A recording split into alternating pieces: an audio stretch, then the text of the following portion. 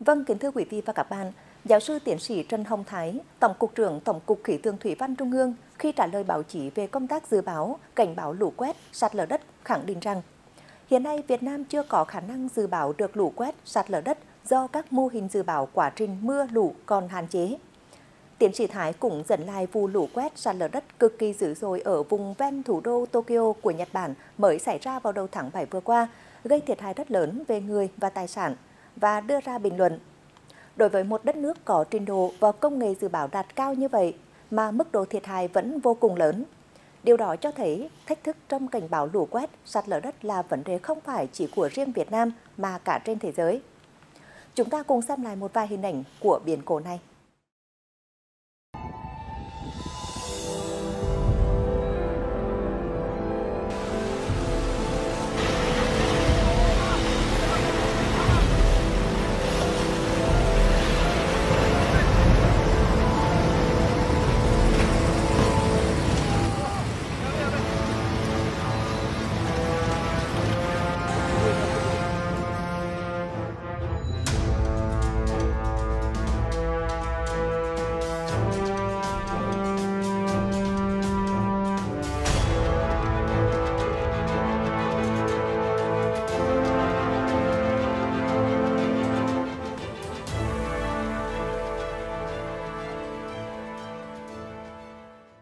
Những hình ảnh thiên tai thật kinh hoàng.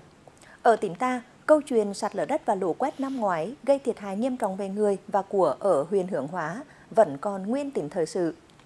Trong những tháng qua, những khu vực có nguy cơ cao về lũ quét và sạt lở đất đã được chính quyền cả cấp tổ chức tái định cư và thực hiện một số giải pháp phòng ngừa khác. Tuy nhiên, cùng với những bất trắc ngoài tâm với của con người khi thời tiết cực đoan, thì thời gian gần đây, khi các công trình điện gió được triển khai thi công ở hưởng Hóa, dư luận lo ngại một số dự án tác động tiêu cực đến môi trường, nguy cơ xảy ra sạt lở đất rất lớn, ảnh hưởng trực tiếp đến đời sống và sản xuất của người dân, nhất là mùa mưa bão đang đến gần. Ngay lập tức, các đoàn công tác của tỉnh ủy, Hội đồng Nhân dân, Ủy ban Nhân dân tỉnh đã tiến hành kiểm tra thực tế hiện trường. Ngày 23 tháng 7 năm 2021, Phó Bí thư Thường trực tỉnh ủy, Chủ tịch Hội đồng Nhân dân tỉnh Nguyễn Đăng Quang trong chuyến kiểm tra thực địa các dự án điện gió đang triển khai trên địa bàn huyện. Tại cuộc kiểm tra này, đồng chí Phó Bí thư Thường trực đã có những chỉ đạo quan trọng. Đặc biệt, Thường trực tỉnh ủy Quảng Trị vừa yêu cầu Ban Cán sự Đảng Ủy ban nhân dân tỉnh Quảng Trị chỉ đạo Ủy ban nhân dân tỉnh Quảng Trị không xem xét việc cấp chủ trương đầu tư các dự án điện gió mới. Chia sẻ về quyết định này, đồng chí Nguyễn Đăng Quang, Phó Bí thư Thường trực tỉnh ủy Quảng Trị cho biết, tỉnh rất cần thu hút đầu tư để phát triển kinh tế xã hội, nhưng sự an toàn tính mạng của người dân là cao nhất. Tỉnh cũng hỗ trợ nhà đầu tư phát triển dự án điện gió, nhưng nếu không ra soát được vấn đề, không đảm bảo an toàn cho người dân là không thể. Mùa mưa bão sắp đến rồi, nếu không ra soát lại việc xây dựng là không thể được. Phải dừng để ra soát, đánh giá lại, tính toán lại khi nào đảm bảo điều kiện an toàn qua mùa mưa bão thì tỉnh sẽ tính tiếp. Ngày 11 tháng 8 năm 2021, Phó Chủ tịch Thường trực Ủy ban nhân dân tỉnh Hà Sĩ Đông trong chuyển kiểm tra thực địa công tác quản lý, bảo vệ rừng tại khu vực triển khai các dự án điện gió trên địa bàn huyện Hương Hóa. Tại hiện trường, Phó Chủ tịch Thường trực Ủy ban nhân dân tỉnh chỉ đạo các nhà đầu tư phải có phương án trồng cây tại các tuyến đường công vụ, gia cố thêm kè bê tông, cột thép tại các điểm ta luy âm và dương, sung yếu có nguy cơ sạt lở. Cũng liên quan đến vấn đề này, trả lời phỏng vấn của Đài phản thân truyền hình Quảng Trị, Phó Chủ tịch Thường trực Ủy ban nhân dân tỉnh Hà Sĩ Đông đã cho biết những giải pháp rất quan trọng và kịp thời. Ủy ban tỉnh đã giao cho Sở Tài nguyên Môi trường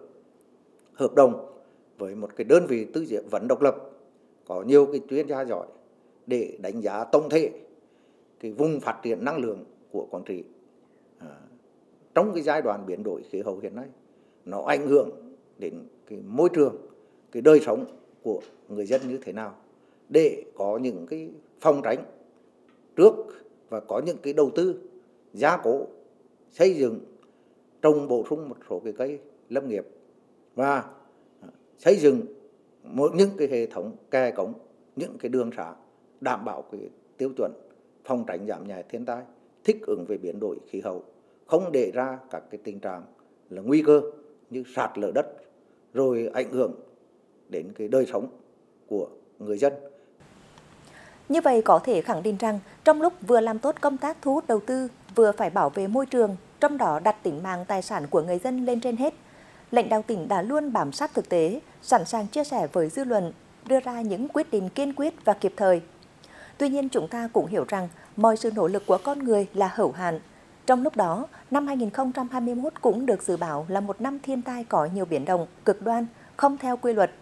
Do vậy, muốn hạn chế thiệt hại, như chỉ đạo của Phó Thủ tướng Lê Văn Thành, trưởng Ban chỉ đạo Trung ương về phòng chống thiên tai, Chủ tịch Ủy ban Quốc gia ứng phó sự cố thiên tai, tìm kiếm cứu nạn, đó là không được chủ quan, đề cao trách nhiệm người đứng đầu và kiên trì thực hiện nghiêm phương châm bốn tại chỗ.